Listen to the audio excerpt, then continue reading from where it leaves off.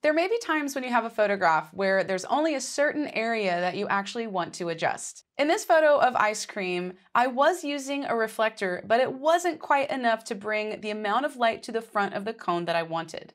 So I'm gonna see what I can do in Luminar to make this look better. I'll start out with Enhance AI. I'll take the accent slider and move it to the right, and this does a really good job of enhancing the photo, but I still have some dark areas in the front I'd like to fix. So I'm going to jump over to local masking to make some selective edits. I'll click on local masking. Next, I'll click add at the top. Select basic. And before I start brushing masking over my image, I'm going to make some overall adjustments. That way I can really see the changes that are being made. So first I'll take the exposure slider and I'll move it to the right. I can see it overexpose some of the highlights.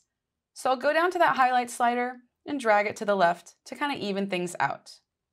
Next, I'll add a touch of contrast, and I'll even add some structure. I'm going to toggle this off and on so you can see all of those edits. But as I said earlier, I only want these edits to be applied to the ice cream itself. So I'll hover over the image, and I can see that the brush is active. I'll increase the brush size with that right bracket key, and begin brushing over my photo.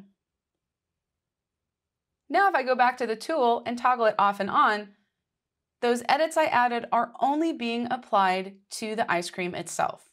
I'm gonna add one more finishing touch to this photo. I really like to use the Mystical tool. I use it on a lot of my photographs. Let's go ahead and jump over to it. I'll head over to Creative, and I'll access it near the bottom. Then I'll increase the amount slider. While watching my photo, I'm also going to increase the shadow slider to try to bring some of that detail back in the darker areas. I'm going to go ahead and preview only that mystical tool so we can see the results. This is a great example of showing you don't have to get your photos perfect in camera. Luminar really helps you to take your product photography to the next level.